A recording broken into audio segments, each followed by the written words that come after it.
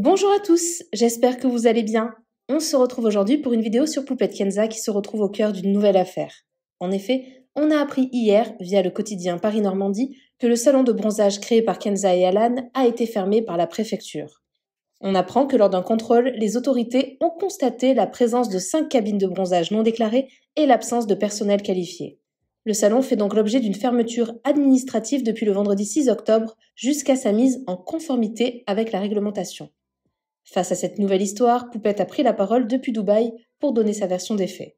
Elle dénonce un acharnement des autorités à son égard et assure que le salon rouvrira d'ici peu de temps.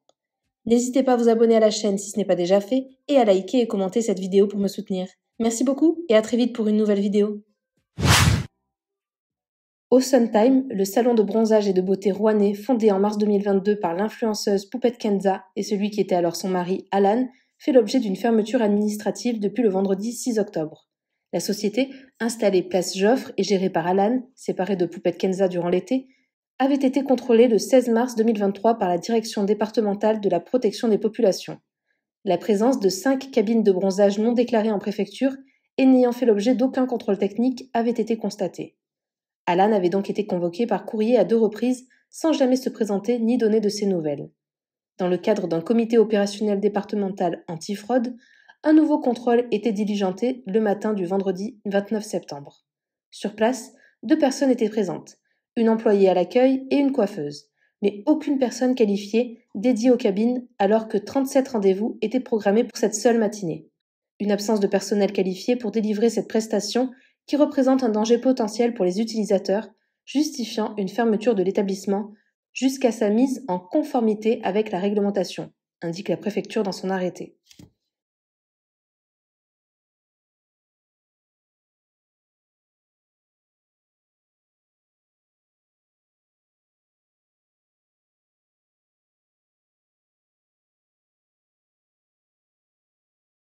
Fait, vu que Paris-Normandie sont euh, les plus gros fanatiques que j'ai et que à chaque fois qu'il se passe quelque chose dans ma vie, ils sont toujours là à, essayer de sortir des scoops qui sont totalement faux. Bon, leur crédibilité, vous savez que je vous l'ai déjà remis en, jeu plus d'une fois, que de la mythomanie, des suppositions, de l'invention. Et là, en l'occurrence, c'est totalement faux. Alors, je vous explique, c'est hyper simple. Euh, il y a une semaine de ça, on a eu un au salon Juvet. Donc moi je suis en règle sur tout de A à Z. Malencontreusement pour moi, mais peut-être à ce moment-là, donc il y avait une employée qui est actuellement encore en période d'essai. Donc euh, on, vient de la recruter.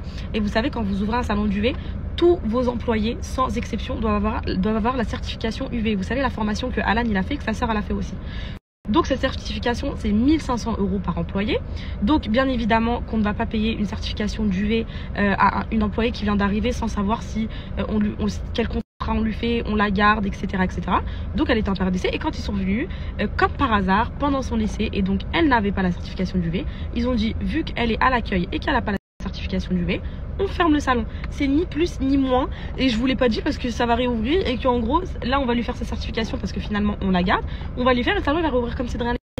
Donc, euh, les, ça, ça me, ça me met hors de moi en fait. Je peux plus avoir de vie. En fait, je, en fait, je ne peux plus avoir de vie privée. Genre ça, je l'ai pas dit. Pourtant, je l'ai appris quand j'étais à Ikea. Alan, il m'appelle, il me dit, ils sont en train de fermer le salon par rapport à, bah, à l'employé en question. Elle a pas la certification. Je dis, c'est pas grave, on va la faire. On va leur ramener, on va leur déposer, on va la faire. Ils sont partis. Même la préfecture, maintenant, ils vont pia-piailler à Paris, Normandie, blablabla. Bla, bla, bla, Même eux, ils ont rien d'autre à faire. Ils ont rien d'autre à faire. C'est, mais Poupette, c'est un ras bol en fait. Je quitte la France, je viens à Dubaï pour qu'on me rentre dans mon cerveau encore à, distance. Et puis de toute façon, je, je, veux plus rien. Je, veux plus rien. Je, veux plus rien. Ça ça m'a dégoûté. C'est ça, c'est trop pour moi. C'est que des problèmes, c'est que des histoires. Tout le temps, on veut me tomber dessus, tout le temps ça. Donc, le salon, il est en règle, d'accord euh, Voilà mes poupettes, euh, c'est juste ça. C'est juste que bah, ma petite chérie Manel, elle avait pas sa certification, c'est tout.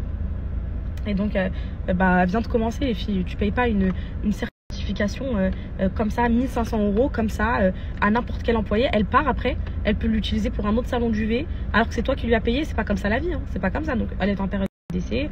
On, on allait être sûr de la garder sur le long terme et tout. Ensuite, elle aurait eu, il y a des employés à nous qui l'ont. Il y a Alan qui l'a, il y a la soeur Alan qui l'a qui gérait le salon au début. 1500, 1500, ça coûte cher, hein. ça coûte donc euh, voilà, il faut bien choisir ses employés pour pouvoir leur payer ensuite la certification.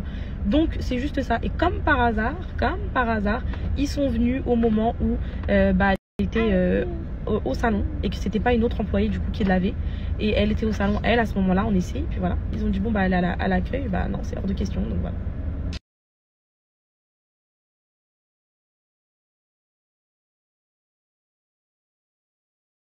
Merci à toi d'avoir regardé la vidéo jusqu'au bout. N'hésite pas à commenter un gyrophare si tu es arrivé jusque-là. Ça me permettra de voir ceux qui sont restés jusqu'à la fin. Encore une fois, merci beaucoup et je vous dis à très vite pour une nouvelle vidéo.